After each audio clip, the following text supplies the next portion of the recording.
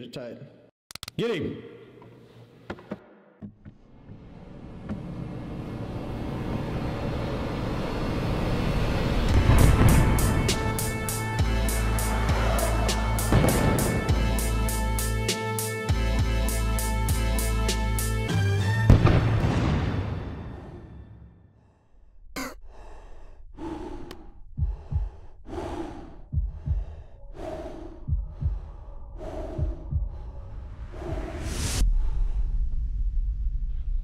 You did great.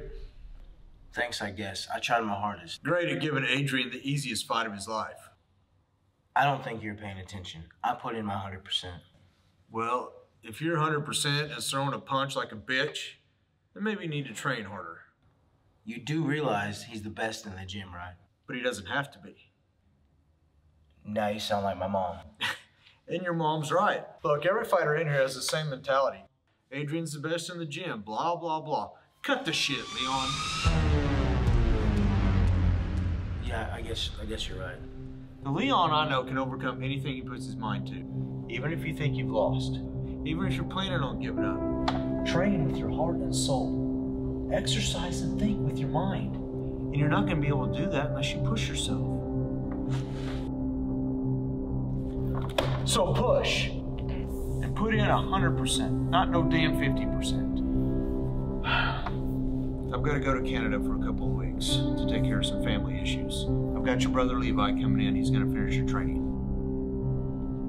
Rematches in two weeks. You've got time to prepare. Make your training worth it.